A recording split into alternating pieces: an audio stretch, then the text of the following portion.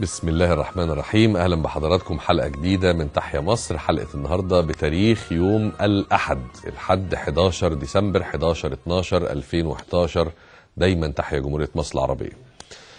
آه النهارده عندنا فقرات آه مختلفة وأخبار كمان مختلفة فيها. آه أعتقد إن فيها بعض الأشياء المبشرة وفيها بعض الأخبار اللي محتاجين نقف عندها شوية علشان أنا شخصيا أثارت علامات استفهام كثيرة عندي. وقرون الاستشعار لما بتشتغل آه، تخلينا لازم نقف ونفكر علشان نحاول نقرأ ما بين السطور لأن في حاجات تقلق. لكن في الأحوال في كل الأحوال هنحاول ندي لحضراتكم الصورة كاملة. آه، بعد المقدمة وبعد فقرة الأخبار مباشرة عندنا الفقرة الرئيسية وهي فقرة هتناول المشهد السياسي في مصر بصفة عامة وفيها أحد النواب المستقلين الذين نجحوا في الجولة الأولى أو المرحلة الأولى من الانتخابات البرلمانية لبرلمان 2012 ومعنا أيضا الأستاذ عبد الله المغازي وهو أمين عام مساعد المجلس الاستشاري اللي عينه وشكله المجلس الأعلى للقوات المسلحة للمساعدة في إدارة البلاد وهو مجلس استشاري حصل عليه حالة من حالات اللغط والجدل الكثيرة. الاثنين مع بعض علشان نشوف هل فعلا المجلس الاستشاري ده مع البرلمان هيبقوا في حالة تصادم؟ هل الكلام حقيقي إن المجلس الاستشاري هو واجهة المجلس العسكري علشان يبقى في حالة يعني تصادم أو العدو الخفي للبرلمان؟ المجلس العسكري هل فعلا عامل المجلس الاستشاري ده عشان يبقى هو الذراع اللي بتناطح وبتصادم البرلمان اللي مسيطر عليه الإخوان المسلمين؟ أي إن الصدام حتمي ما بين الإخوان المسلمين والمجلس الاستشاري وده الكلام اللي قايله حتى الدكتور جمال زهران الخبير السياسي النهارده في تصريحات نشرت في الصحف قايل أن الصدام حتمي ما بين المجلس الاستشاري ممثلا للمجلس العسكري وما بين البرلمان هي زي لعبة القط والفار. المجلس العسكري يشد شوية فالإخوان يرخوا والإخوان يشدوا فالمجلس يرخي وهكذا. أو لعبة عض الأصابع يعني كل واحد يحط صباعه تحت ضرس التاني واللي يقول آي الأول. لكن في كل الأحوال هنحاول نفهم وهذه الفقرة هي الفقره طويلة وداخلها صوت الناس داخلها الفقرة اللي آه، بخصصها لحضراتكم عشان تقولوا آرائكم سواء في الموضوع اللي إحنا بنتكلم فيه مع ضيوفي أو في أي ملاحظات أو تعليقات أو استفسارات أو انتقادات عايزين تقولوها أو أفكار للمستقبل. هي دي فقرات البرنامج. لكن قبل ما نروح مباشرة للأخبار عايز أتوقف قدام اللي قاله الدكتور كمال الجنزوري رئيس الحكومة النهارده. دكتور كمال الجنزوري عاد وأكد من جديد على إن الشيء المقلق والخطير والذي لا يبشر هو الوضع الاقتصادي. ويمكن آه، أنا قلت لحضراتكم الأسبوع اللي فات إن أي حاجة يجب أن تغيب وتنسحب وتنزوي الآن ونفكر بس في الأمن والاقتصاد. الأمن ثم الاقتصاد. بدون الاثنين دول يبقى الصورة ستصبح سوداء لا قدر الله. الحقيقة الدكتور الجنزوري النهارده قال إن لما ابتدى بقى يبص في الورق ويبص في الأرقام ويتابع الحقيقة من قرب اكتشف أن الوضع الاقتصادي أسوأ بكثير مما كان يظن. يعني هو أول ما جه قال الوضع الاقتصادي صعب لكن النهارده بيقول إنه أصعب كمان مما كنت أتوقع وأظن وده محتاج إن إحنا نشتغل بضعف المجهود. وقال الدكتور الجنزوري كمان إن أهم أولويات الاقتصاد علشان ينضبط إن إحنا نظبط الأمن لأن أمن لأن بلد بلا أمن يبقى لا هنتكلم فيها على اقتصاد ولا على استثمار ولا على سياحة ولا على أي حاجة خالص. وموضوع السياحة اللي إحنا كلنا فيه وأنا اعتبرته ملف عندي وهكمله هيبقى له قسم مهم إن شاء الله لأن في تطورات مهمة حصلت الحمد لله حصلت استجابة رائعة على الفقرة اللي أنا عملتها امبارح عن موضوع السياحة وتخوف من الإسلام السياسي إن هو هيجي يدمر السياحة. النهارده عملوا شوية تطمينات كويسة قوي سواء الأحزاب السلفية أو آه، حزب الإخوان المسلمين لكن خلي آه، الكلام ده هنقوله في موعده. لكن السؤال المهم وخليني دايما أفكر معاكم out of the box يعني أفكار خارج الصندوق أو بره الكلام الرغي الكتير اللي بيتقال في معظم الفضائيات مجرد بس علشان يملى وقت بدون فايدة. الدكتور الجنزوري قال إن أنا كحكومة هحاول من بكرة إن أنا أعمل خطط عاجلة وفورية علشان إنعاش الاقتصاد لأن الاقتصاد يحتضر. وإحنا الحقيقة مش هنقدر نتدخل في خططه لأن الدكتور الجنزوري طبعا خبير اقتصادي وتخطيطي كبير ومعاه مجموعة من الدكاترة والأساتذة والخبراء والمتخصصين اللي يفهموا عننا إزاي الاقتصاد المصري ينتعش وبسرعة سواء بقى إن هم يفعلوا المشروعات اللي كانت متجمدة أو يبدأوا في تنفيذ مشروعات جديدة يعملوا حاجة في القطاع المصرفي والمالي يعملوا اقتراض يعملوا طبع فلوس يعملوا كذا ما أعرفش. كلام ال- الاقتصادي المتخصص بتاعهم. لكن خلوني أفكر مع حضراتكم إحنا لأن إحنا جزء من هذا الوطن. ما ينفعش نفضل بالفكر القديم بتاع الستينات والسبعينات اللي هي ماما الحكومة. الحكومة تعمل وإحنا ملناش دعوة ونستنى. لا. العصر ده عفى عليه الزمن. الآن كلنا شركاء. كلنا متحملون للمسؤولية. إما نجاحا أو فشلا لا قدر الله. فعلى كل واحد فينا دور. فأنا الحقيقة من النهارده الصبح وأنا عمال أفكر. إيه اللي إحنا ممكن نعمله عشان نساعد؟ كمواطنين. الحكومة خلاص ربنا يوفقها وهنحاول ندعمها ونساعدها قدر الإمكان بس دي محتاجة قرارات استراتيجية منهم. إحنا كمواطنين سواء موظفين في الحكومة سواء رجال أعمال سواء عمال في مصانع سواء أصحاب مصانع سواء فلاحين في المزارع سواء سواقين سواء محصلين ضرائب سواء أي فئة في المجتمع عمال محارة. نعمل إيه؟ هقول لكم آه، يعني أشياء كده لها علاقة بالنماذج علشان ما نبقاش إحنا بنخترع العجلة من جديد. نماذج حصلت في دول العالم والحقيقة آه، توقفت عندها كثيرا وقلت هي دي بجد اللي اتقال عليها الشعوب المتحضرة المنتمية. لو تفتكروا في آه، منتصف التسعينيات يعني حوالي من 10 15 سنة كده سنة 97 كان في أزمة اقتصادية طاحنة في آه، آسيا. غير الأزمة العالمية اللي حصلت سنة 2008 وحسينا بيها كلنا. لا في سنة 97 98 حصل أزمة اقتصادية طاحنة في دول آسيا. وكانت أكتر الدول اللي مش اتقرصت اللي اتوجعت بهذه الأزمة وكانت على شبه شبه الإفلاس التام والانهيار الاقتصادي الكامل كوريا. كوريا الجنوبية تحديدا.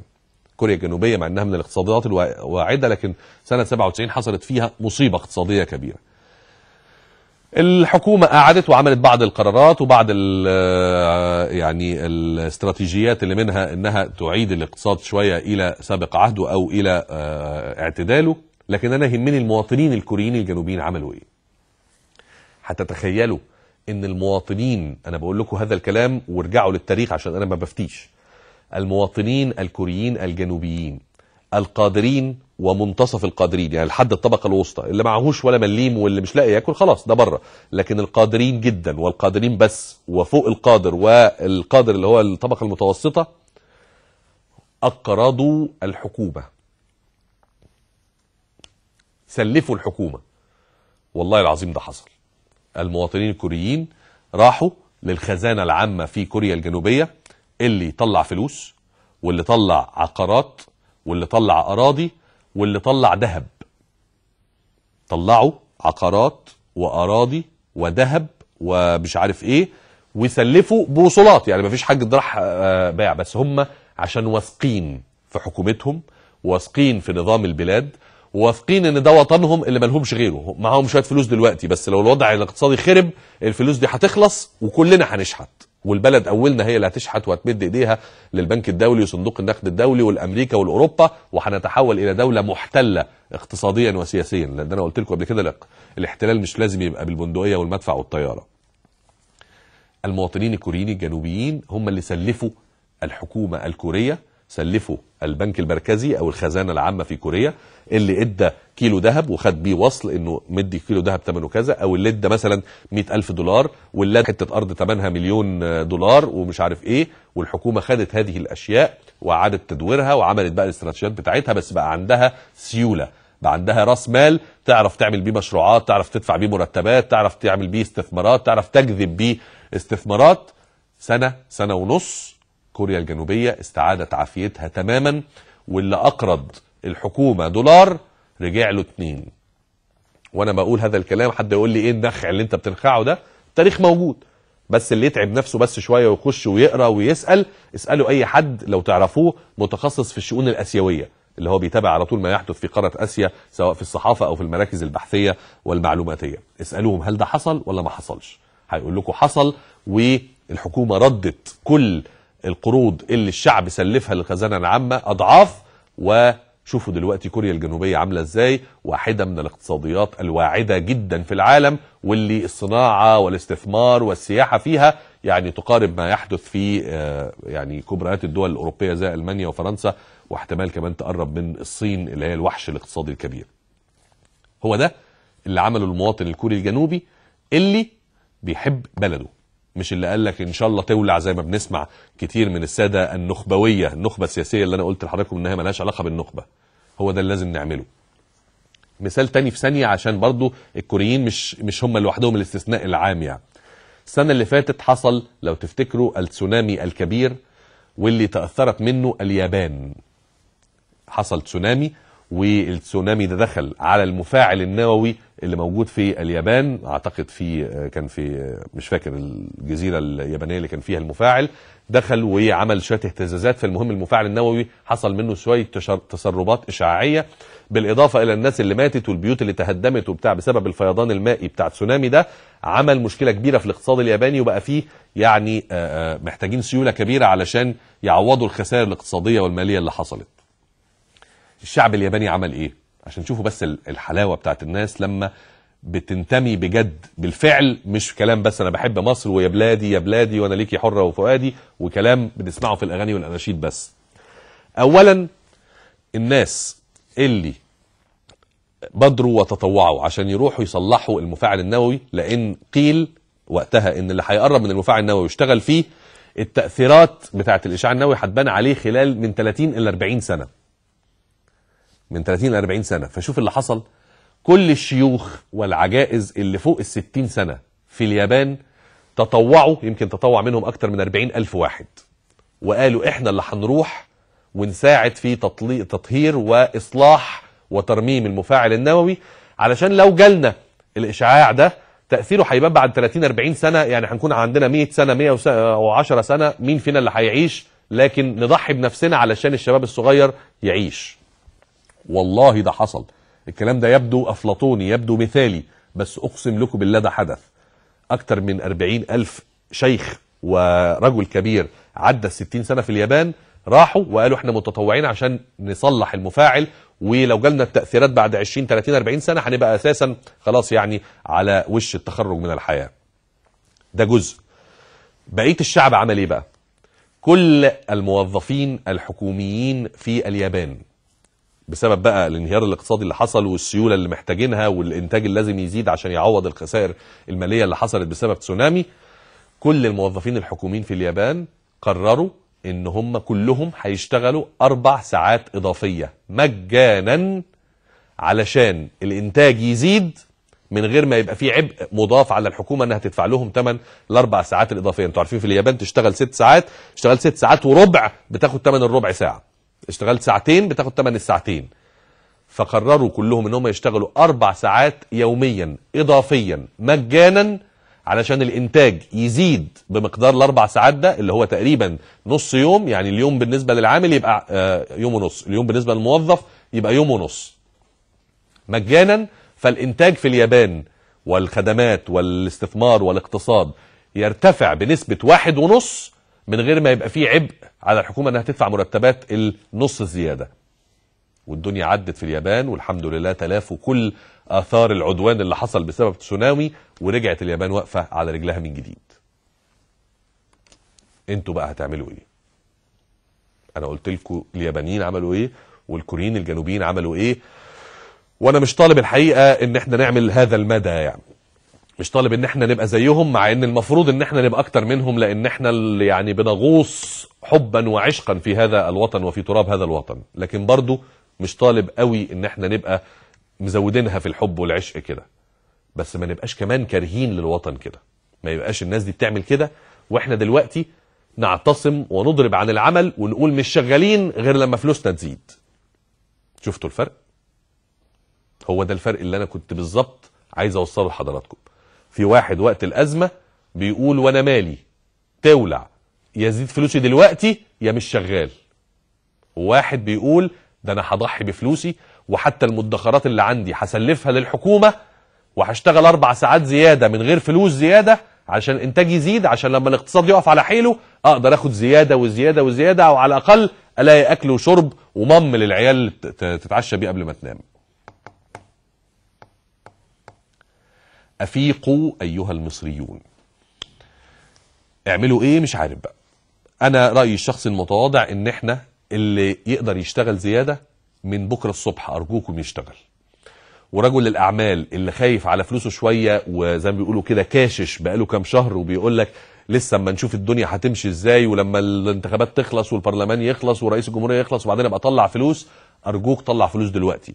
ودورها دلوقتي لأن أي فلوس بتضخ دلوقتي في السوق المصري هتعمل حاجة مهمة جدا الاقتصاديين عارفينها اسمها دورة رأس مال. وأي دورة لرأس المال الكل بيستفيد منها.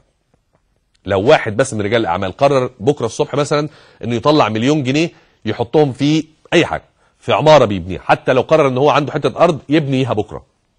العمارة دي هتتكلف من مليون إلى 2 مليون جنيه. بس ال 2 مليون جنيه دي هتشغل مثلا بتاع 1000 عامل. ما بين الم... مش عارف إيه اللي بيشيل الأسمنت والفواعلي والمحار والكهربائي والنجار والمبيض والمش عارف إيه وبتاع السيراميك وبتاع الخزف وبتاع الكذا وبتاع البويه وبتاع مش عارف إيه. ودول لما يقبضوا فلوس هياخد له 100 جنيه في اليوم هينزل يقوم شاري شوية خضار فبتاع الخضار هياخد فلوس وبتاع الخضار لما يجي له فلوس هيقوم رايح للمكواجي وكاوي الهدمة فبتاع المكواجي ياخد الهدمة وينزل يشتري شوكولاتاية لبنته فبنته مش عارف إيه تشتري مش عارف كذا وبتاع الشوكولاتة. اسمها كده دورة راس مال. فالدنيا شوية تمشي. فبدل ما كل واحد قامت على 2 جنيه ونص في جيبه وقافل عليهم والله هيخلصوا وساعتها مش هتلاقيهم. لكن لما نطلع متهيألي هنستفيد. والراجل ده صاحب العمارة أهو العقار موجود ومش هيحصل فيه حاجة بالعكس ده هيبيعه لما الدنيا تمشي وهيجي له بدل المليون ونص من 2 مليون اللي دفعهم ثمن العمارة هيجي له 20 مليون خصوصا لما تكون في حتة حلوة كده وأسعار المتر فيها بالألافات زي ما بنسمع.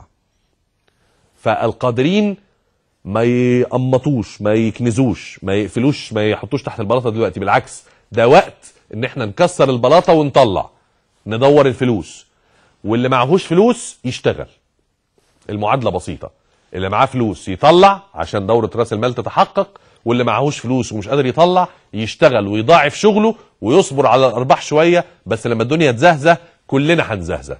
لكن لما الدنيا كلنا هنقول لله يا محسنين. يا رب تحيا مصر.